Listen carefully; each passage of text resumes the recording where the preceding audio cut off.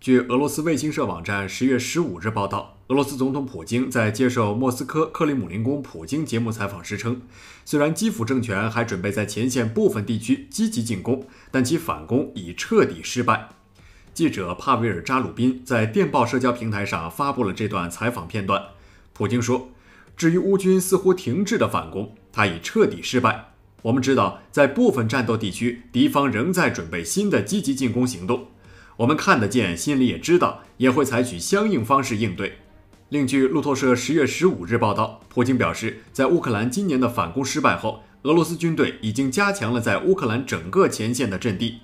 普京说，现在沿着整个接触线正在做的事情叫做积极防御，我们的部队正在几乎整个地区强化自身阵地，这是相当大的一片区域。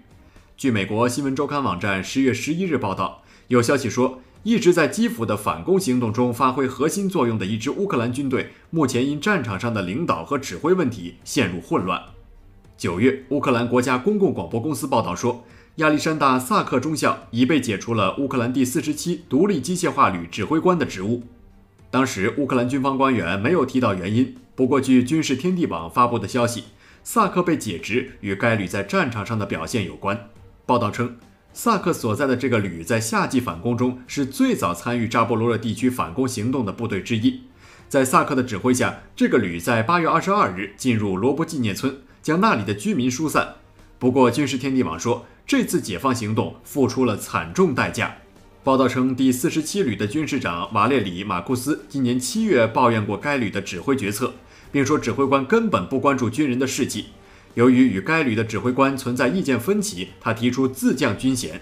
马库斯曾与乌克兰总统泽连斯基见面，表达自己的关切。他在网上发文称，完全反对该旅在部署上的决策。